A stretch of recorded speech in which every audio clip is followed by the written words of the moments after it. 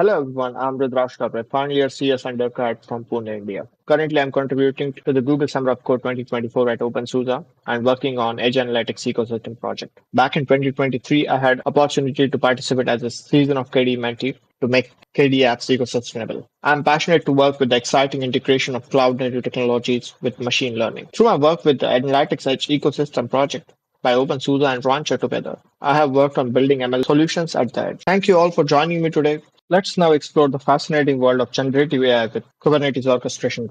Imagine a world where computers understand and speak human language, just like us. This breakthrough is powered by large language models, LLMs, such as Llama, Mistral, and others from open source community, as well as infamous GPT by OpenAI. Also, in addition to that, there exists some small language models recently, like Phi series from Microsoft. These models aren't just the tools, they are game changers that can be deployed right at the edge of networks, bringing intelligence closer to where it's needed the most. LLMs like these can read, summarize, translate, and create content with human like fluency. They are transforming industries in retail, powering chatbots for instant customer service, in healthcare, aiding faster diagnosis by analyzing vast amount of medical data, and in finance, predicting market trends and guiding investment decisions. However, using LLMs online raises privacy concerns, especially in fields like healthcare and finance. To address this, businesses are exploring in-house solutions and leveraging open source models that can be fine-tuned and deployed on local hardware. This not only enhances the data security but also reduces reliance on external services. Edge computing is redefining how we process data by enabling real-time insights and enhanced privacy right at the source. It empowers businesses to analyze data locally, accelerating decision making and improving operational efficiency. This approach ensures flexibility and control over data processing infrastructure independent of traditional cloud services.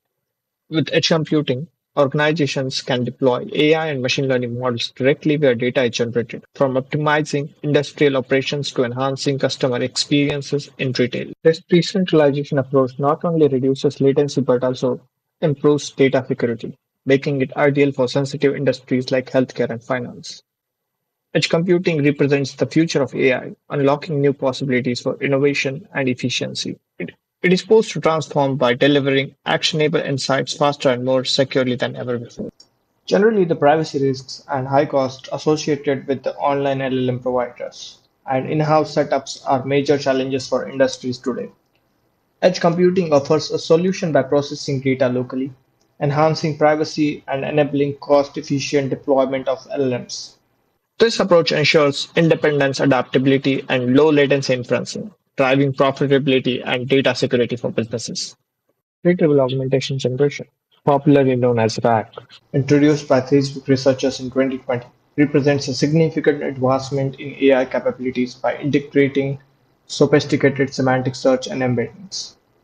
RAG combines the strengths of retrieval-based methods, which fetch relevant documents from a vast corpus, with generation-based models this integration allows AI to refine responses by incorporating real-time data insights, ensuring accuracy and contextual relevance. In practical terms, RAG enhances AI applications across sectors by leveraging semantic understanding and embeddings. LLM optimization techniques. The discussion between RAG versus fine-tuning is a very interesting topic, and many folks are interested about it. So when to use RAG and when fine-tuning?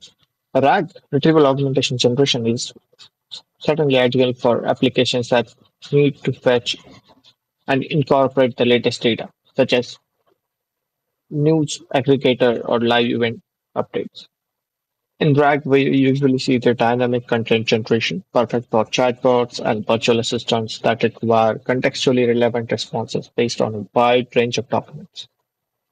RAG can help provide personalized recommendations generally useful in e-commerce platforms and also in media platforms. It provides a tailored suggestions based on user queries and current trends. When it comes to fine tuning, it is used in domain specific tasks, best for applications that need specialized knowledge, such as legal document analysis or medical diagnostics. Fine tuning is consistent with its performance and suitable for tasks requiring high accuracy and consistency, such as customer support system. And fine-tuning is ideal for projects that need model to be tailored for specific data sets, like sentiment analysis for a particular industry or custom NLP tasks. Eventually, choosing between RAG and fine-tuning depends on your application need. Use RAG for dynamic real-time response and fine-tuning for specialized consistent performance in your application. In this project, we are leveraging the power of open source large language models and integrating them with the retrieval augmentation generation pipeline to transform data from various business verticals. Like first of all, we start with the data collection. We collect raw file formats such as PDF, CSVs, Markdown files, and PowerPoints. These files are passed through parsers using LangChain data loaders. And next to that, we perform ETL extract, transform, load process. The data is then transformed and cleaned, normalized, and loaded into database or data store. In our case, we are using VectorDB. Next to that, we perform text splitting. We break down the text into small segments called chunks to fit them into embedding models. Chunks are converted into vector representations that capture their semantic meaning. Then further down the line, embeddings are stored into ChromaDB as a vector database and ranked. Using semantic search, we query these embeddings to provide accurate answers to user questions. All these states are integrated into an API service that interacts with the user interface at the edge. So let's see how the workflow is working. So we are using Kubeflow pipelines for orchestration, MLflow for experiment tracking, and ZenML for managing RAG pipelines. The project is split into two microservices, one for API backend and one for the user interface. These Docker containers are deployed on K3s RKE RKE2 clusters managed centrally branch orchestration. This workflow ensures efficient data processing in real time, providing insights and seamless user interaction as mentioned in the previous workflow, I have deployed my pipeline on Rancher management. And here you can see my deployments. In this demo, I'm using uh, my personal invoice of my mouse.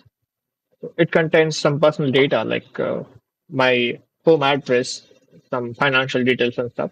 So which I don't really want to expose to online LLM providers. So this is running completely locally. So I'm asking the price of the mouse here. So you can see it has given me the price. Nice. So next to that, I'm asking about the city I live because it contains my personal address, right? So here is the answer. I live in Pune, correct? So now I'm asking from where the mouse is being shipped, from which city it is being shipped actually. So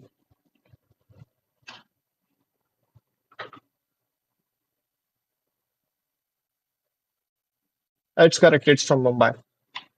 Thank you, everyone. Thanks for watching up to the very end. Let's connect on socials. And if you have any questions about this entire process and how the demo works and everything, I'll be available on upcoming Open Source community meeting, which is happening on Tuesday, 2nd of July. Please feel free to join there.